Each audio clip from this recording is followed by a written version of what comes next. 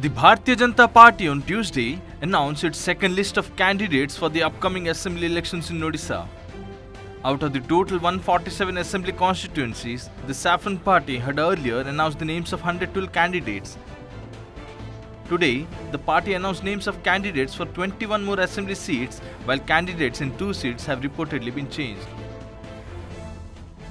Dilip Ray has been named as BJP candidate for Rourkela, Akhil Chandra Nayak for Patna, Bhadav Hansda for Saraskana, Jolin Barda for Airangpur, Sanjali Murmu from Bangriposi, Padmacharan Haibru from Karanjia, Narsingh Bhatra from Jharigam, Somnath Pujari from Dabugaon, Lalit Kumar Behra from Rajnagar, Satya Sarathi Mahanti from Balikuda Erasma, Amarendra Das from Jagat Singhpur, Baidhar Malik from Kakatpur, Surama Padhi from Ranpur, Uttam Panigrai from Sanokhemundi, Prashant Malik from Mohana, Jagannath Nundrika from Bisam Katak, Kumar Ulaka for Rayagada, Kailash Kulesika Lakhimpur, Rupa Batra from Kotpad, Chaitanya Nandibali from Potangi, and Damburu from Chitrakonda.